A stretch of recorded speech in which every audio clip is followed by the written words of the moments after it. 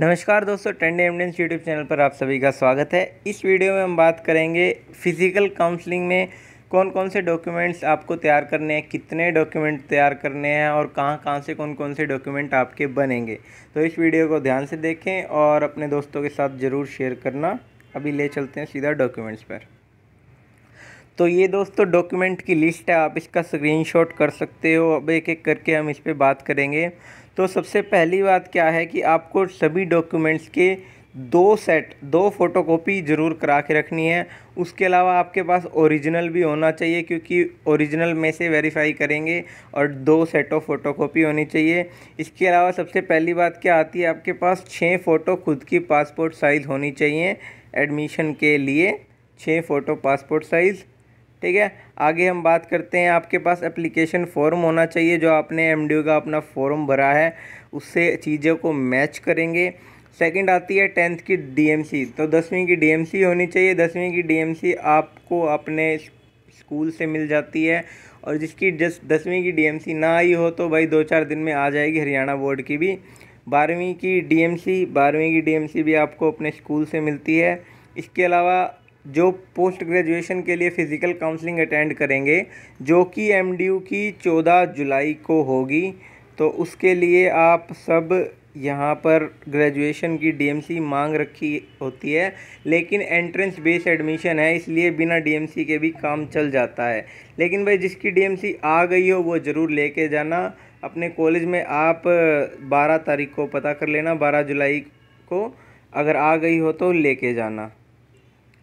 और जिसके पास डीएमसी नहीं है तो भी कोई दिक्कत वाली बात नहीं है, क्योंकि अब की बार एंट्रेंस बेस एडमिशन है। इसलिए आपको डीएमसी जमा कराने का करीब तीस सितंबर तक का टाइम मिल जाएगा, तब तक आप अपनी डीएमसी जमा करा सकते हैं। एंट्रेंस बेस एडमिशन है। और अगर आप ऑल क्लियर नहीं हो पाते हो ग्रेजुएशन में आपकी कोई रीअपियर आ जाती है, अटक जाते हो, तब आप फेल कंसीडर किए जाओगे भाई। और आपका पोस्ट ग्रेजुएशन में एडमिशन हुआ होगा तो कैंसिल हो जाएगा। इस बात का ध्यान रखें भाई। और फ़ीस भी रिफ़ंड नहीं होती, जितना मुझे पता है। अगर आप इन एलिजिबल हो जाते हो तो अगर आप सोचो कि भाई तीस सितंबर तक मैं कैसे ना कैसे पास हो जाऊँ तो उस केस में भाई आपका रिज़ल्ट तो आ नहीं पाएगा, क्योंकि पेपर भी नवंबर या दिसंबर में होंगे तो उस वजह से आप फेल कंसीडर होगे आपकी फ़ीस भी रिफ़ंड नहीं हो पाएगी। अब बात करते हैं माइग्रेशन सर्टिफिकेट की। तो जो एमडीयू के अलावा और कहीं से बच्चे पढ़कर आते हैं, जैसे स्कूल से पढ़कर आते हैं एमडीयू में तो स्कूल वाले उन्हें माइग्रेशन सर्टिफिकेट देते हैं। ये आपका डिजी लॉकर में भी अवेलेबल होता है आजकल तो। और इसके अलावा स्कूल के अलावा जो कॉलेजों में होते हैं भाई, जो दूसरी यूनिवर्सिटी से पढ़कर आते हैं, उन्हें माइग्रेशन सर्टिफिकेट जमा कराना होता है और वो अपनी यूनिवर्सिटी से माइग्रेशन सर्टिफिकेट ले सकते हैं और इसे जमा कराने का भी भाई ये तीस सितंबर इतना के करीब का टाइम ज़रूर मिलेगा। आपके टाइम फ़िज़िकल काउंसलिंग के टाइम हो तो बहुत बढ़िया है, ना हो तो भी आपका काम चल जाता है बाद में जमा कराना। गैप ईयर भाई जिसने पढ़ाई में एक दो साल छूटा हुआ है, किसी का री की वजह से छूटा हुआ है या किसी भी वजह से छूटा हुआ है तो उसे गैप ईयर बनवाना है। गैप ईयर कहाँ से बनेगा? तो भाई कोर्ट से बनेगा। कोर्ट के बाहर वकील वगैरह बैठे होते हैं।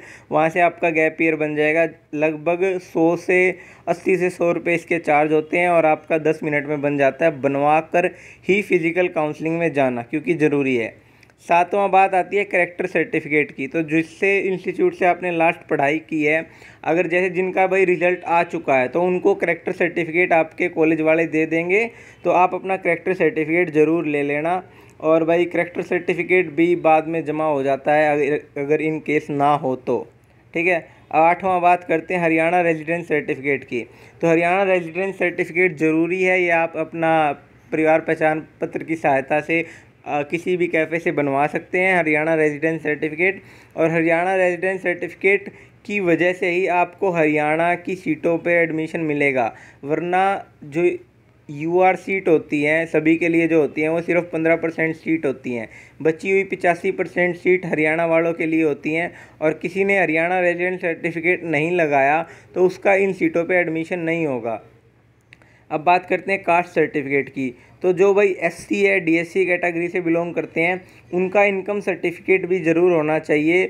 ढाई लाख से कम इनकम है उनकी तो। क्योंकि अगर ढाई लाख से कम इनकम है तो उनकी साढ़े पाँच सौ रुपये फ़ीस लगेगी और साढ़े पाँच सौ रुपये फ़ीस में उनका एडमिशन हो जाएगा। और कास्ट सर्टिफिकेट भी होना ज़रूरी है और इनकम सर्टिफिकेट भी दोनों। कास्ट सर्टिफिकेट का क्या फ़ायदा है कि आपको S C D S C category में कंसीडर किया जाएगा। और दूसरा इनकम सर्टिफिकेट का क्या फ़ायदा है कि आपकी फ़ीस कम लगेगी। अगर आपकी ढाई लाख से ज़्यादा इनकम है तो उस केस में आपको इनकम सर्टिफिकेट लगाने की ज़रूरत नहीं है। अब बात करते हैं भाई बीसी का। तो बीसी का भी भाई कास्ट सर्टिफिकेट लगाना ज़रूरी है। लेटेस्ट वाला कास्ट सर्टिफिकेट लगाना है पिछले साल का। अगर किसी का पहले का कोई सर्टिफिकेट बना हुआ है ओबीसी सर्टिफिकेट वगैरह तो वो आजकल हरियाणा में नहीं चलते हैं। तो आपको लेटेस्ट सर्टिफिकेट बनवाना है बीसी का, जो आपका दो दिन के अंदर बन जाता है अगर आपका फैमिली आईडी में कास्ट वेरीफाई है तो। ठीक है, अब बात करते हैं ईडब्ल्यूएस की तो इसका भी लेटेस्ट सर्टिफिकेट ही चलता है। और आगे चलते हैं एंटी रैगिंग सर्टिफिकेट की। तो भाई एंटी रैगिंग सर्टिफिकेट आपको अपने प्रोस्पेक्टस में मिल जाएगा।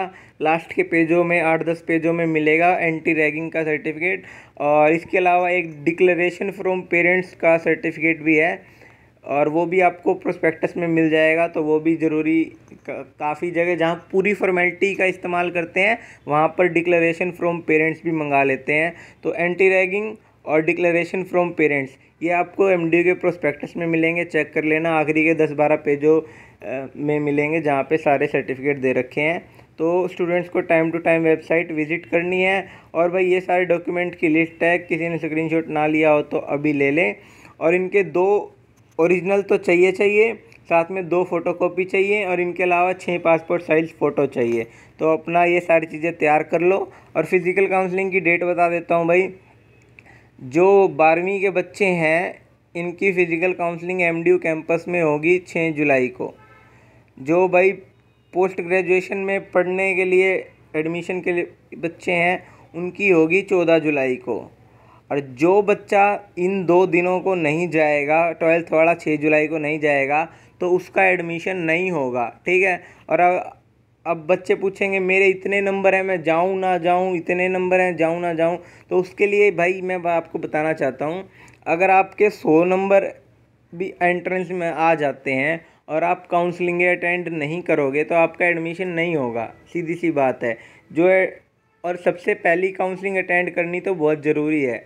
बहुत ज़रूरी किस लिए है कि इससे आपको पता लग जाएगा कि कितने परसेंट बच्चे आ रहे हैं और आपका नंबर कितनी दूर है।